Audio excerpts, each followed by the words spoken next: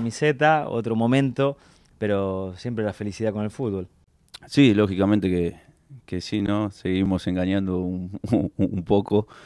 Y, nada, viviendo un momento, un momento especial, un momento lindo, eh, en, una, en un campeonato, en un país que, bueno, que vos jugaste y sabes lo que, lo que es ahí, eh, y donde yo tenía la, la ilusión de, poder jugar y me llegó por ahí en un, en un momento que, que uno por ahí muchas veces piensa ya que está más para para retirarse que para seguir jugando en un, en un nivel que, que, exige mucho, como es el brasilero y viviendo un momento en este club sensacional, ¿no? la conquista de un, de un título internacional por, por primera vez, disputando la final de, un segundo título y con esa posibilidad de, de, seguir soñando, de seguir quedando en la historia del club. Así que, eh, como vos dijiste, feliz de, poder seguir disfrutando de, este deporte tan lindo.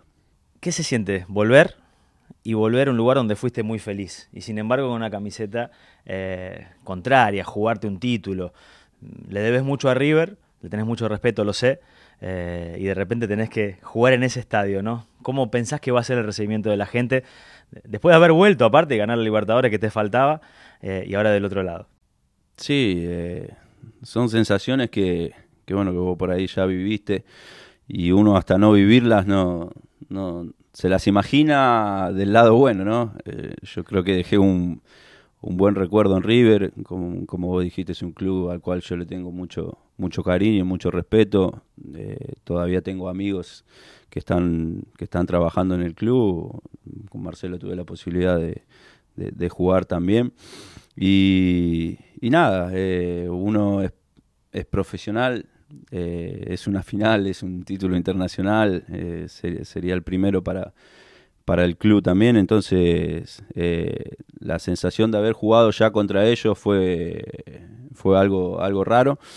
pero bueno, uno, uno es profesional y, obviamente que, que, voy a hacer todo lo posible que esté a mi alcance para, para Atlético poder, poder ganar este título y, siempre con, el respeto que, la gente de River y el club se, merece. ¿Cuál es la clave contra este River que lo pudieron neutralizar y le jugaron muy bien de local? También creo que aprovecharon la cancha y la superficie. ¿Cuál es la clave para jugar visitante contra este equipo ganador de Marcelo? No, creo que una de las claves es esa, es dejarlos a ellos incómodos. Nuestro, nuestro, equipo, nuestro equipo también tiene una característica que es eh, intentar presionar al, rival el tiempo entero y creo que, por eso hoy en día estamos, estamos dando que hablar. Eh, demostramos eso ya en la, en la cancha de Boca, donde uno sabe que es difícil, que es difícil jugar.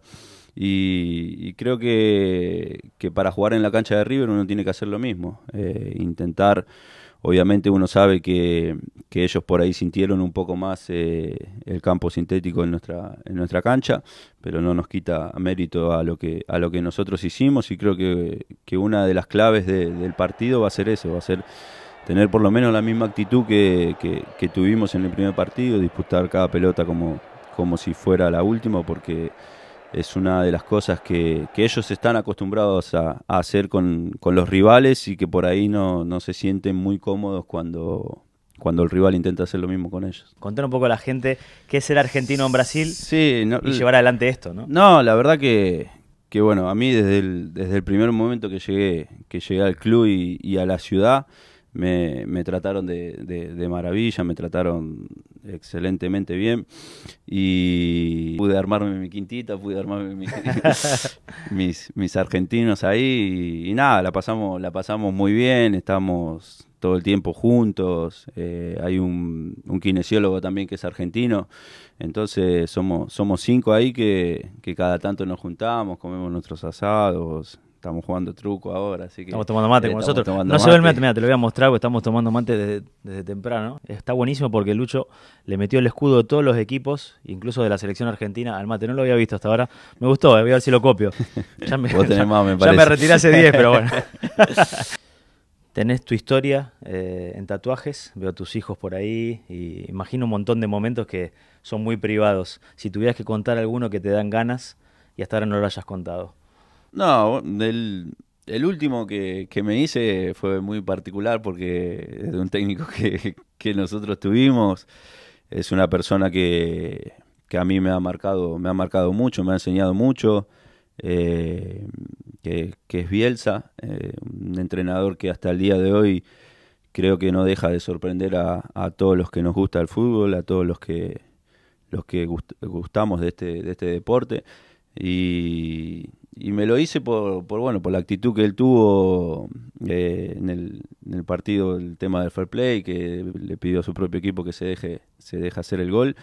Y sobre todo viendo lo que lo que sucedió después no eh, se quedó sin la posibilidad de, de, subir A, primera eh. creo que él tiene esas cosas que son son muy particulares una persona que, que vivió mucho en el fútbol que, que enseñó mucho. Hoy en día uno conociendo los entrenadores que, han pasado por, él como, como, jugador, uno sabe que tienen, tienen muchas cosas de, de, Marcelo. Y, bueno, tomé la decisión de hacerme una, una caricatura. ¿Dónde está? está? está? por acá atrás, es medio difícil de ver. Pero, a ver. ah, está ahí. Está ahí. Gracias, Lucho. Gracias a vos, Max. Placer verte.